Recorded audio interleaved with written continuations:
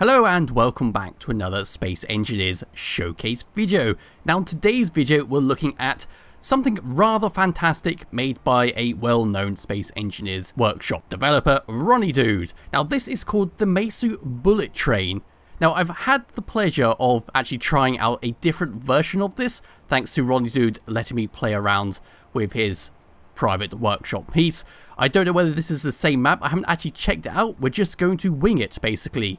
But last time, I was going to make a video on his original piece, but it was too unstable to actually do, but this is going quite well despite it being a little bit laggy. So what this is, is a giant bullet train capable of going 100 meters per second, even around corners, and it's just an absolutely huge track. If I come all the way through here, this is the spawn room we started. We have this lovely blurb on the wall telling you some of the issues and all that, and what this is actually for. But most importantly, it states that it will roughly take 30 to 40 minutes to go around the track. Yeah, let that sink in. He has built a train track that can run at 100 meters per second and it will take you roughly 30 to 40 minutes to go all the way around. So this is an absolute insane creation. God knows how long it took you to make this, but I'm impressed just by that itself. So anyway, when we start off, we have that little spawn room, and then we can enter into the station. We have little artwork everywhere. We can see part of the track in the distance. I believe this is a custom world and not the default starting Earth. We've of course got the vending machines here, which they don't do anything, but they just look very pretty. So we've got Mountain Dew, we've got Big Benny's, grab and eat, and of course we have the train. Now before we get into the train, let's just head on out. We've got some little billboards around here with some advertisements, and this is the station itself. It is hovering, as Ronnie Dude stated, this was a test for his own world, where it will be going through his city. So, without further ado, let's go into the train itself. So the train is basically set up like most little trams. It has little seats in there and the carriages go all the way back. We can close and open the doors. If you're wondering how it's attached to the railing, which this was kind of amazing when I found out in his little private map, it's done with wheels between blast door edges instead of the traditional of having the wheels hooked around the blast door edge. Doing it like this allows it to go around corners at high speeds, although it is still a little bit unstable and may be prone to crashing. So if we come all the way around here. Let's go into the actual... What do you actually call that on the train? Cock is well, let's just say it's a cockpit for now. So pressing I and coming over to the control panel, we'll now want to go for the remote control block, which is, yes, remote control. And we're going to control it. Now if I bring up the HUD, we have a few little controls. First things first, undo the parking brake and then we have some options. So we have the thrusters, which will just make you go. We have the cameras. We then have a second camera and a blank box. So we're going to press number one, and away the train goes. When I was playing around with his private test map, I will say it sounded fantastic going along the rails, and it it's just incredible the way that this has been set up. Let's remove the HUD, and here we go. It's well, it's fantastic. Am I going to sit here for 40 minutes? I don't know. I might have to cut out a few bits if I am going to do that. Otherwise, it's going to take me a few years to upload it. And as you saw there, we went round the corner. No problems. We're at about 70 meters a second. And we're slowly, slowly speeding up. We are at maximum power and we are wobbling a little bit, but it's no problem.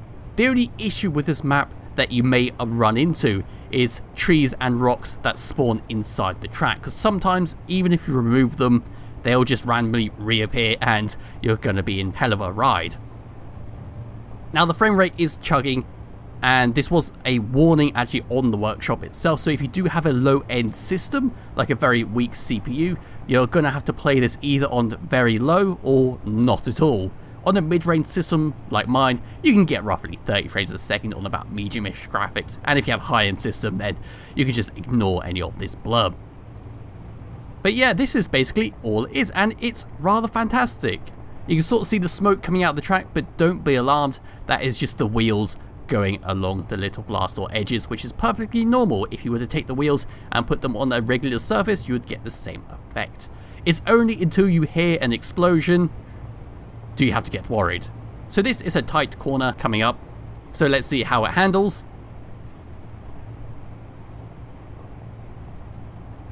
Look at that. Amazing. Absolutely amazing. And that is a very tight corner. 99, 100 meters a second, zero issues. Incredible. So let's now come into first person and just press F, undo the jetpack, and now let's just go and have a little walk around, shall we? So we got little seats in here. What I will say is, if you get in the seat and get out again, you don't get ejected out the window, which is one of my biggest complaints with some other workshop designs, especially small vehicles, where if you are traveling at a high speed like what we're going at right now, you do not want to be ejected out. So we have these little buttons on here, which I probably should have shown. So we press that, that closes that door, and pressing it again will open that. The red button opens up the side doors. So what you're looking at right here is basically each carriage is separate, and this is what allows it to turn around corners so well. It's set up like a traditional train in a train station or one of those weird flexi buses where they are separate carriages that are joined by a little block. I'm not actually sure what it's joined up by. But yeah, let's keep going along here. So we got even more seats. We got smoke coming through here, but this is fine. Everything's fine. It's so weird though, walking backwards and like that while we're moving. And of course, we come through here again, and we have some drink stations. Oh yes, we got some Sprites, we got some Mountain Dew, we got some Coca-Cola Journey. Never heard of that one before. We got some Pepsi, we got some... Oh god. Oh dear. Oh dear, oh dear, oh dear. And we got some more seats around here. If you want to face the other person in the seat, just stare deeply into their eyes and make them uncomfortable for the entire journey. I will go up those steps in just a second, but let's keep going down the carriages. So going further down here, we have... Is this a disco room? I do believe this might be a disco room. What's this say? This says nothing. But yeah, there's a disco room in here, like a mini nightclub going on. And at the back here, we have a button if you want to eject yourself out. I don't know what that was over there, but never mind, eh? So now we're going to go all the way back to this little ramp in here and see what's on the tippy top of it. So round past the little drink stall, we now have like the private area or the like super CEO business area where like you have dining tables and everything like that. Oh, that is spooky.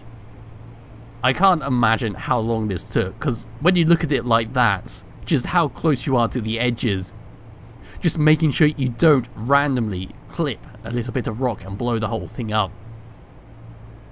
So we've got some more doors here.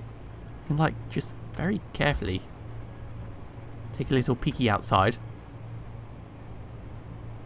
I mean, look at that. That's amazing. So around here, I don't actually know what this is. We might have to hop out and take a little look, but I believe this is like a small business center. Maybe it is a Ronnie Dude Incorporated. I do not know, but look at that all the way through. I would not trust that on my building. So this is the Meisu bullet train, hopefully I'm saying that correctly.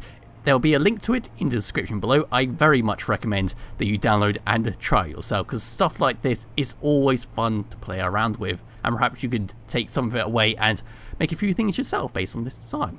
So anyway, thank you all for watching and I'll be back with another video some point soon.